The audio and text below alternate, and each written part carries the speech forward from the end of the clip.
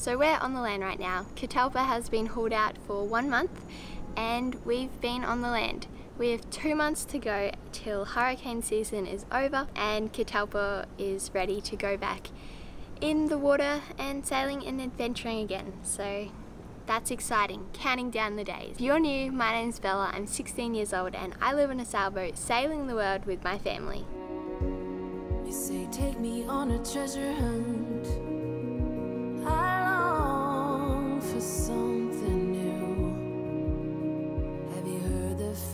when they sing and dance?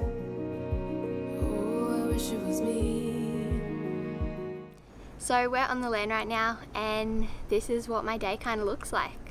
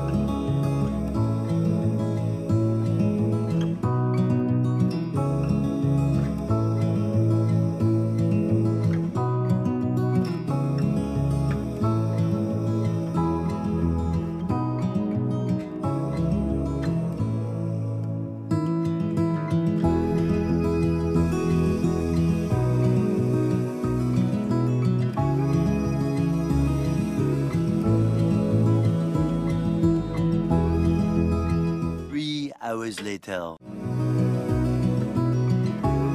Oh, back in aircon.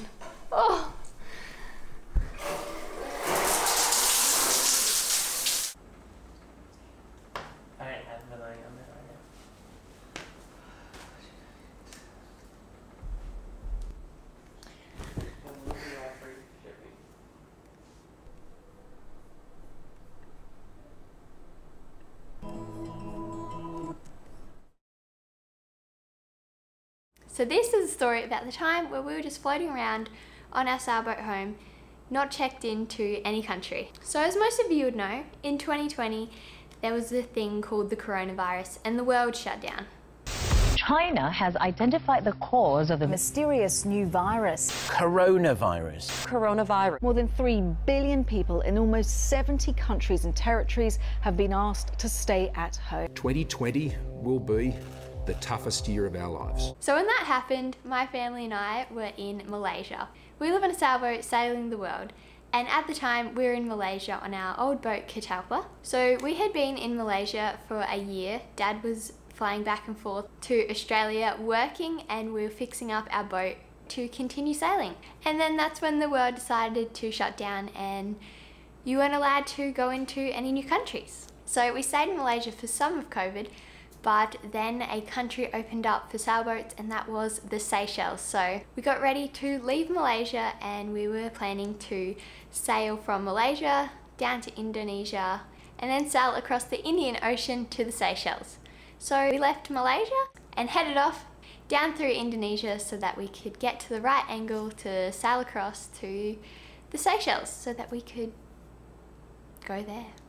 Our old boat was a concrete boat. It was 44 foot, not very seaworthy, a little bit sketchy to be on. So as we were sailing down, there was a big storm and we were out in the ocean at the time. So, you know, you just get through the storm, bash through it till you get to your anchorage. We pulled into our anchorage after bashing into some pretty big seas and we noticed that there was a big crack on the front of Catalpa and we're like, oh no, that's not good. So we then started contemplating whether we should be crossing such a big ocean. The Indian Ocean is a pretty big ocean. So then we decided that we probably shouldn't be crossing the Indian Ocean in this boat because we may not make it. So with that decision being made, we then realized, well, there's no other countries that we can actually check into at the time. We could go back home to Australia, but at the time, winds would be against us. So the only other option was to sit and wait in Indonesia illegally. So that is what we did for four months.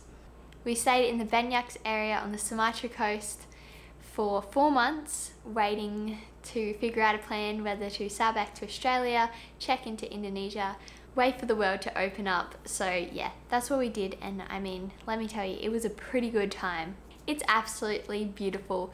Crystal clear water, tropical islands, palm trees, the whole lot. Amazing surf. So it was four months pretty much in paradise. We didn't go into any big towns or cities because we were illegally there so we kind of just stayed out at the islands eating what we had stocked up on in Malaysia and catching fish and coconuts and there was a little village where we would get fruit and vegetables from. So yeah, it was a pretty great time and it was pretty fun. We kind of just spent our days in the water, surfing, diving, spearing.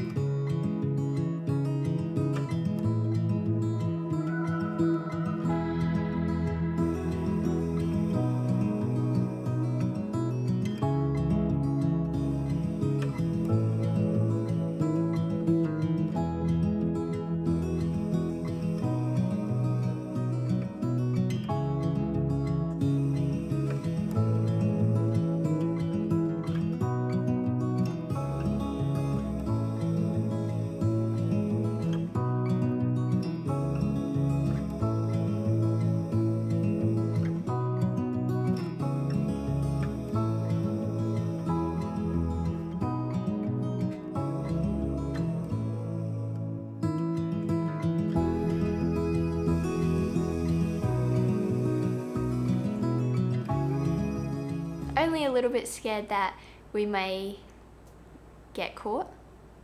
But other than that, it was pretty great. So eventually Indonesia ended up opening up again for tourists to come in. So we then sailed down to Jakarta where we checked into Indonesia after being there four months illegally and everything was okay.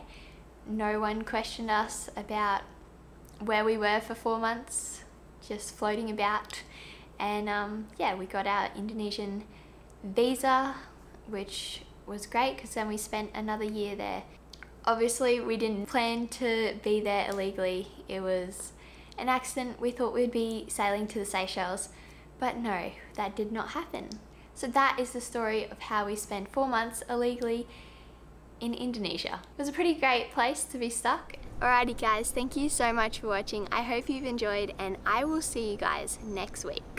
Bye.